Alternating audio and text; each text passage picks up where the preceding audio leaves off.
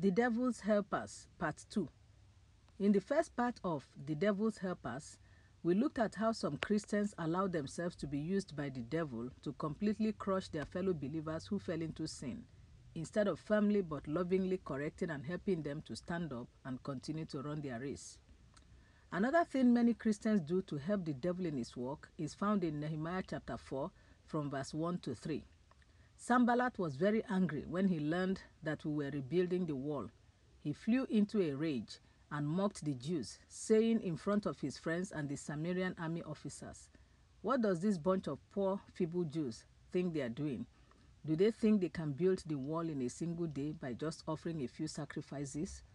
Do they actually think they can make something of stones from a rubbish heap and charred ones at that? Tobiah the Ammonite, who was standing beside him, remarked, That stone wall would collapse if even a fox walked along the top of it. That's the New Living Translation. There are Christians who use very negative, discouraging words to try to weaken the hands of their brethren who are serving God. They never see anything good in whatever their brothers and sisters are doing for the Lord. All they see is rubbish, a waste of precious time, and efforts that will yield nothing. Sometimes this behavior comes out of envy. Some people would love to be the ones through whom God is carrying out a particular service, but God doesn't choose them. And instead of supporting, encouraging, and praying for the chosen ones, or at least leaving them alone and acting like they don't even exist, they decide to frustrate them. Their actions could also be born out of hatred, bitterness, or resentment due to an, due to an offense which they have not been able to forgive. Some also try to use the offer of evil friendships as a means of distracting their brethren from God's work. They pretend like they love you so much and would like to support your cause, but all they are looking for is how to get your attention from the task the Lord has given to you. Nehemiah chapter 6 from verse 1 to 4. Sanballat, Tobiah, Geshem the Arab, and the rest of our enemies found out that I had finished rebuilding the wall and that no gaps remained, though we had not yet set up the doors in the gates. So Sanballat and Geshem sent a message asking me to meet them at one of the villages in the plain of Ono. But I realized they were plotting to harm me, so I replied by sending this message to them. I am engaged in a great work, so I can't come. Why should I stop working to come and meet with you? Four times they sent the same message, and each time I gave the same reply. Again, that's the New Living Translation. We need the spirit of discernment to recognize and stop the devil's helpers from distracting us. After their efforts to get Nehemiah to come to them failed, the enemies resorted to blackmail, threats, and lies. Nehemiah chapter 6, verses 9, verses 5 to 9. The fifth time, Sanballat's servant came with an open letter in his hand, and this is what it said. There is a rumor among the surrounding nations, and Geshem tells me it's, it is true, that you and the Jews are planning to rebel, and that is why you are building the wall. According to his reports, you plan to be their king. He also reports that you have appointed prophets in Jerusalem to proclaim about you, Look, there is a king in Judah. You can be very sure that this report will get back to the king, so I suggest that you come and talk it over with me. I replied, There is no truth in any part of your story. You are making up the whole thing. They were just trying to intimidate us, imagining that they could discourage us and stop the work. So I continued the work with even greater determination. That's the New Living Translation.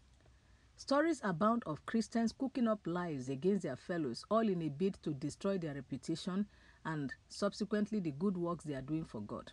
Christians who get involved in such evil acts are helping the devil in his business of killing and destroying God's vessels and resisting the hand of the Holy Spirit upon their lives. Some of the devil's helpers use the kind of words or admonition recorded in Jeremiah chapter 47, verses 6 and 7 to slow or stop God's servants. O Son of God, how long will you keep this up? Return to your scabbard. Haven't you had enough? Can't you call it quits? But how can it quit when I, God, command the action?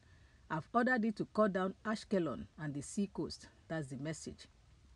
Remember Jeremiah chapter 51, verses 20 to 23. You are my battle axe and sword, says the Lord. With you I will shatter nations and destroy many kingdoms.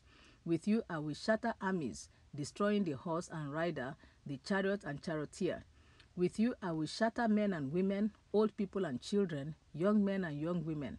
With you I will shatter shepherds and flocks, farmers and oxen, captains and officers. That's the New Living Translation. God has called and equipped many of his children and is using them to fight the battle between himself and the kingdom of darkness. Then some other Christians lovingly tell God's battle axes that they have done enough and need to relax.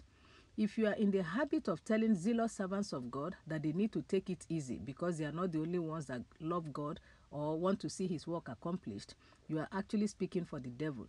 Any child of God who is faithfully committed to whatever the Lord has asked him to do makes the devil very angry because God is using him to destroy the devil's works.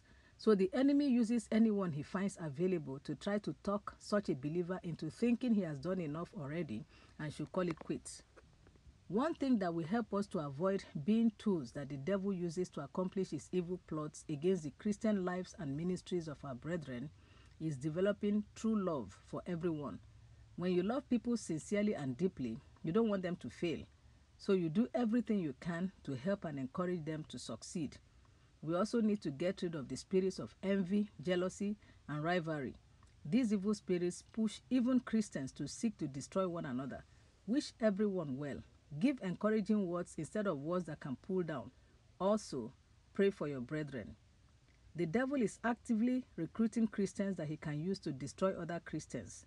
Let him know that you are not available. May the Lord help us all in Jesus' name. Amen.